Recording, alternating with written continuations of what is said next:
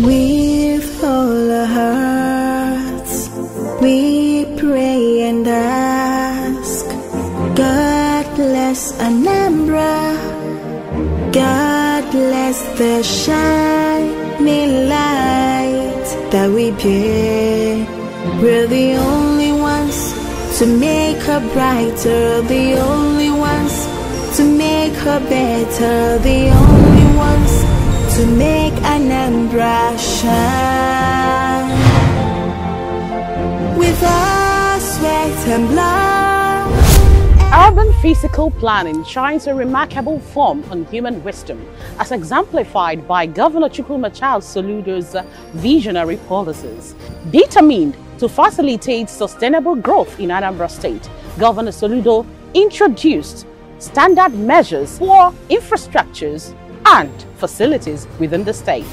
This strategic approach provides framework for a vast urban renewable program that has helped in transforming communities and cities into a livable standard center of progress and prosperity.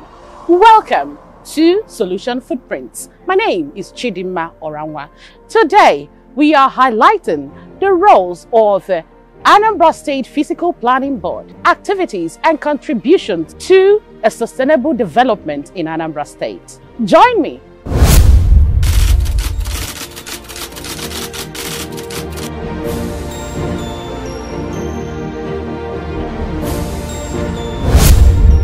The beauty of any society depends on the beauty of its architectural structures and layouts, which is referred to as urban development and planning by experts. Located in the southeastern part of Nigeria, West Africa, Anambra State, nicknamed the Light of the Nation, is blessed with a lot of unique heritage such as natural beauty, including serene lakes, scenic landscapes, and the majestic Niger River. With an ever increasing population of 8.5 million people at home and abroad, and a density of 860 square kilometers, that is 2,200 square meters, Anambra State has maintained its integrity in terms of structural design. In the broadest terms, physical planning is the active process of organizing the physical activities and land uses in order to ensure orderly and effective siting and coordination of land uses. Physical planning, generally referred to as town planning, is the act of controlling the use of land and building control. It is worthy to note that every development requires planning.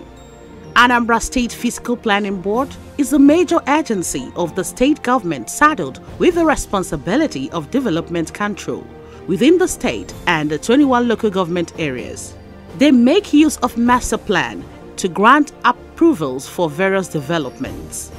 The 21 local government areas have each a planning authority to monitor, control the use of land, manage and regulate various developments to ensure proper subdivision and land use standards in line with the established laws. Anambra State Physical Planning Law 2013 and Building Regulatory Law 2015 respectively. Our board was set up by Law Number 9 of 2013, which has been amended once. And um, we're in charge of development control. We're in charge of proving the blighted species in the state. We're in charge of giving permits for all who want to do any development in all parts of the state except Awka Capital Territory. Of course, um, all over the country, there's no government that has the, enough human resources to do physical planning. So most times you have to collaborate with the private sector. So in Anambra, we are collaborating with um, professionals in the built environment. The goal of the administration of Governor Chukwuma Charles Soludo CFR is to ensure that Anambra State becomes the most livable and smart megacity, a destination point and not a lounge. And it's going to be our collective responsibility collective responsibility of every Anambra person to create and build that livable and prosperous homeland. Our mission is to create a livable and prosperous homeland for our people. According to the People's Manifesto, which Governor Soludo fondly calls My Contract with Indianambra, the present government promised to continue and complete the design of the state master plan.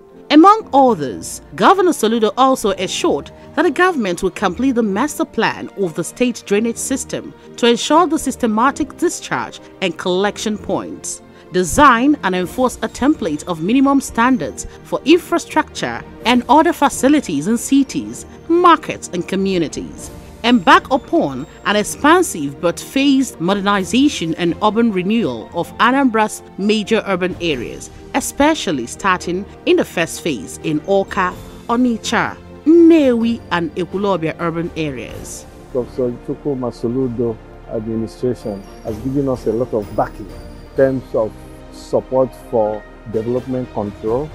Now we have made it clear to developers anything you want to do whether you want to build a fence, whether you are renovating your building, whether you are building a new house, the law requires you to come for approval.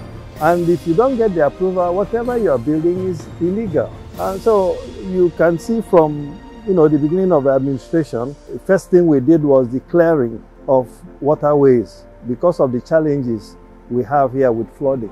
And to the glory of God, after that has been done, um, that nuisance has been substantially mitigated.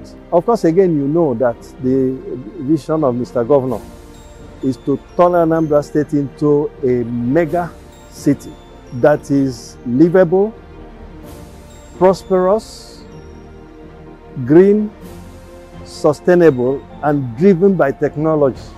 Part of his assurance was to pay special attention to Okpoko in Ogbaru local government area which is home to the largest urban slum in Anambra State, and it will be provided with modern basic amenities and implement robust clean and green initiatives to fulfill the aim of having Anambra as the cleanest and most environmentally friendly state. The foundation work for all these has since commenced. By law, the Anambra State Physical Planning Board, formerly known as Anambra State Urban Development Board, is saddled with the responsibility of regulating and monitoring physical developments in the state, enforcing compliance with zoning regulations and building codes, reviewing and approving building plans and permits, managing urban growth and development in a sustainable manner. The Anambra State Physical Planning Board is entrusted with the task of managing urban and regional planning issues, which encompasses government involvement, governance and regulation throughout the entirety of the state's boundary. The equally registered communication must ensure that layouts are well crafted, as well as various transportation schemes. As part of his plans to aid the state achieve its megacity status, the Physical Planning Board in the state has undertaken a series of reforms since the advent of Governor Soludo's administration to address the challenges faced by the state physical environment. One of the major challenges Southeast in general is having about our infrastructure development in physical planning is the issue of quality.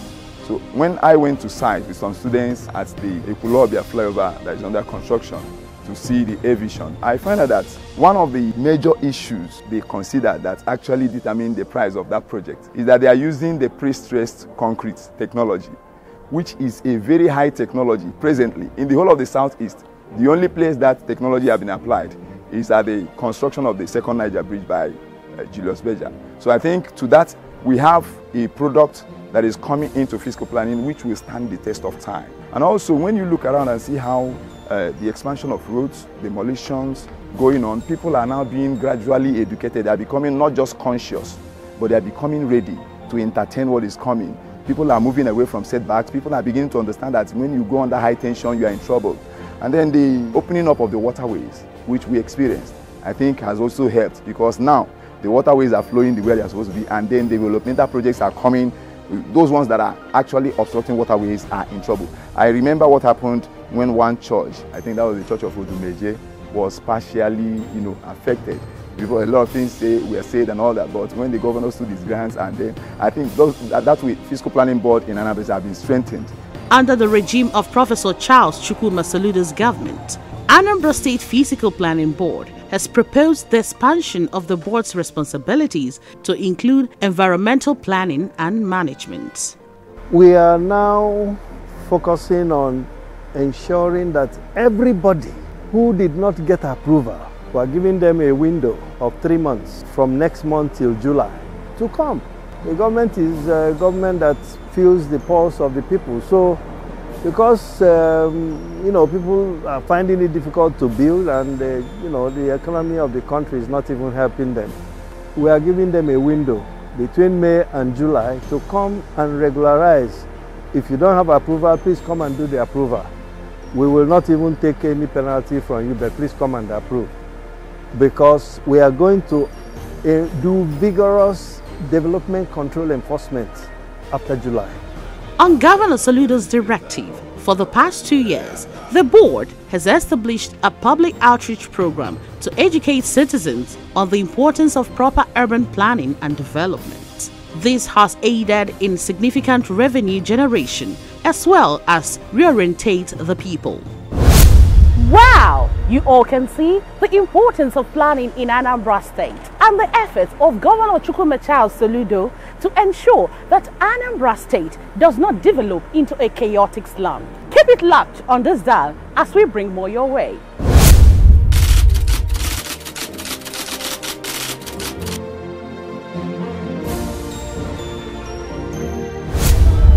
With the introduction of numerous reforms, when Governor Soludo came on board in 2022, the board's revenue recorded significant improvements. The growth has been exponential as more Indianambra are now aware of the existence of the board as a regulatory agency and the important role of their involvement in development.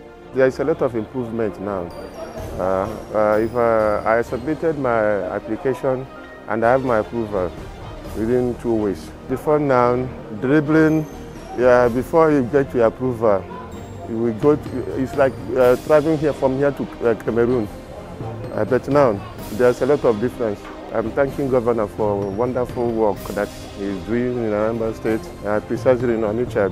I don't believe that Niger Street will be like this, even from Head Bridge um, to Non Market, many places in Fege. Before, even one hour rain or 30 minutes rain, we come and see many dustbins uh, on the road. So, but now, even if rain, rain two hours, rain five hours, even for the whole day, gutter are flowing very well. The road is very neat, everything. I like what I said. Even people like to come to live in Fege, unlike before, parking out, going to jail, uh, um, housing, territory, but people are now coming back to Fege because of uh, uh, new developments in Fege. I thank Governor. I thank him. Let him continue like that. I pray to God that after Governor, he will go to President. Anambra State Physical Planning Board, under the leadership of Professor Charles Soludo, is now better positioned for continued success and growth. As a result, the state's ease of doing business rating has improved significantly. It ranks as number one in the southeast. This further demonstrates that land and construction are critical to development. So at least eh, I, I have great changes. Even that place in Alo within that figure. And I tell you, with the loan eme our property or the only of man, on increase. So at least the government of the day, Soludo is doing very well on a month. Both gutter keta, Okle, Gola, all the gutters. Even in the keta, the ịchọ isi ebe a keta jet bridge very easy. Ịchọ isi ebe a bịa ọchanja about very easy. Ịchọ isi ọchanja about Jefegi very easy. Ịchọ isi ebe a German market very easy. All the road has been tied. It is anticipated that revenue will continue to increase due to the effective implementation of sustainable building practices and streamlined processes. It is same with building plans as there is efficient application and approval processes in place as well as public education initiatives. Most of the landlords, they will know that this is where the physical planning mapped out as a road. We see somebody trying to invest his money there in order to build something. And when you call the physical planning agent or workers to come and stop you work or do they will be taking it personal. Which time most of we Anablarians, Neji, out of stubborn, we don't do things with stubborn. If you want to do things, you do things as a matured man. I believe in with this time around and the way they are working with us in our battle, so many people have started benefiting and understand the real job they are doing. I really thank the governor for his marvelous jobs on Aro. Like even in my community, Omweboro, a very big general hospital. And to that general hospital, Oro Laibafo, Obia made that place already well developed. And that is why the physical planning people do better. We're not I organize here, but for as in well organized. Kodi ka ebe ndị ma ife. So, honestly speaking, the governor is doing very, very well. I pray that uh, after this tenure, he will still continue. ana m ekele our executive governor. N'ọrụ ọma ya anyị na-afụ towards ọgbaro gboko because m na ihe m fugoro ebe a even na be ya ihe ọrụ n'ogboko anyị akarịgo ihe ọrụ na be nne ya. So a na-asịgodi ka ya jisi ike n'ọrụ. Have done so well. Because with the way our governor si aga na ihe anyị fọrọ na nke ọfụrụ a as a developer enwere much improvement n'ihe a na-eme. Enyemaka dị. Nwekwe ebe ọbụla anyị nwere gbasara ụzọ gota immediately anyị na-agbakwa ndị Anambra Planning Committee a they will respond immediately which is most thing anyị need. And na mmepe na-adị. Eh, na-ekele gị biko ka ike n'ọrụ ọma ị na-arụ na nke ị arụ akarịgo ịkwụsịgodo ebe anyị nwago mana agụrụ gawa. Apart from the provision of resources in order to address the challenges and close up the lacuna in the board's operation, Governor Soludo has approved a review of the planning law of the state, which will strengthen physical planning permits, building control, and urban renewal. When enacted, the proposed framework of the law will be to have the Ministry of Physical Planning, Anambra State, Planning Permit Authority, Anambra Building Control Agency, and Anambra Urban Renewal Agency. Furthermore, the law will be reinforced with the creation of new agencies to focus on the actualization of the governor's vision of urban regeneration that will likely give birth to Greater Onitsha, Greater Nnewi, and Greater Ekwulobia. So the law as it is will be amended. And then he has planned to create some other focused agencies, and I can tell you a few of them. There's a plan to create the Greater Onitsha Agency, the Greater Nnewi and Ekwulobia. But these are agencies that will help in the urban regeneration of the states. He has started. Ekwulobia is being regenerated. Uh, we demolished a lot of houses to make way for the flyover in the place. Onitsha, which he prefers to call the Obi of Ndi Bang, a lot is happening. Well-planned roads, fountains. At the end of the day, the plan is that people will no longer run away from Anambra, especially Onitsha, to neighboring states because it was a slum. The essence of all the laws being packaged is that we must ensure that that mega city he wants Anambra to be is truly sustainable, prosperous, livable, and green. The plan to transform Anambra is something that is supported wholly by the Physical Planning Board. And I believe that when these laws are put in place, it will make things easier for us. Uh, we are getting more support in terms of uh, resources to do development control, uh, provision of vehicles, because we need to go around and, you know, you know, continually on a daily basis to see what is happening. And then, of course, we have now determined that anybody that brings any application for approval from an estate that is not approved, we will not, because there's now a proliferation of estates which are alien to the physical planning board. We don't know who granted permission for those estates. And the reason why we also need to be sure where and what estate can exist is because unless you plan them well, in short, you have a recipe for disaster and the, the state will develop in a haphazard manner.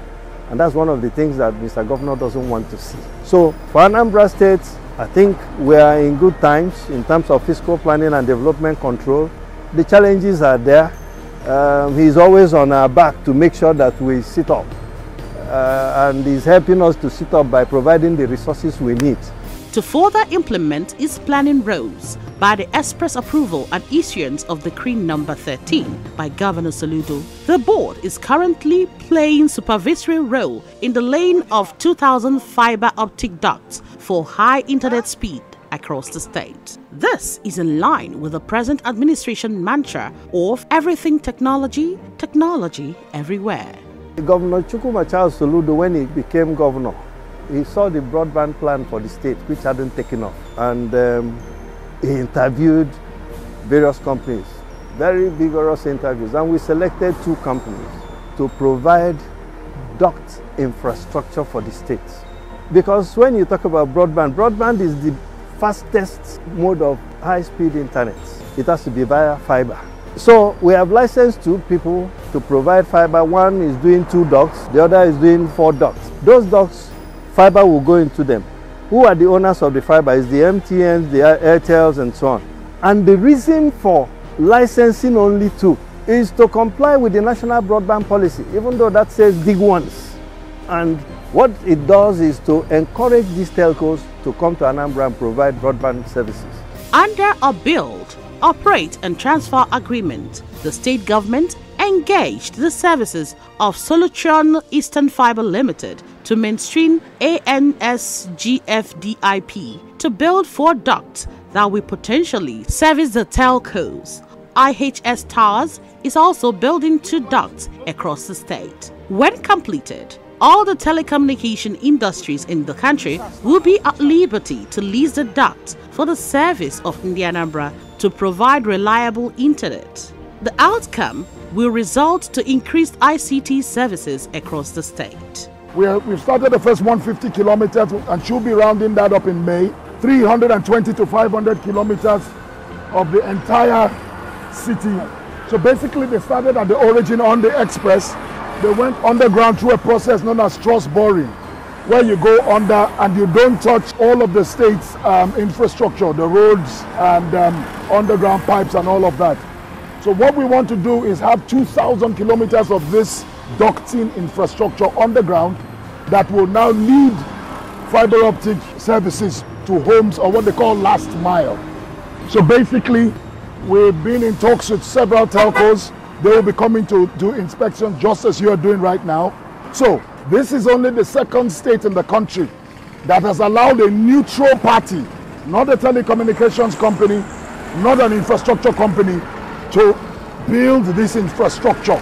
We are taking that burden off of them by building this infrastructure so they can focus on their own core area of services provision to homes, offices, schools, and thereabouts. So prior to doing this, what is known as a technical survey or technical site survey is done.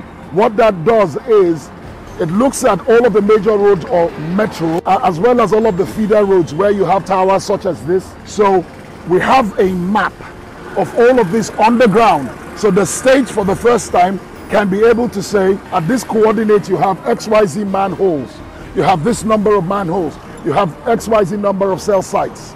So the state has like a superhighway underground and it's all mapped out.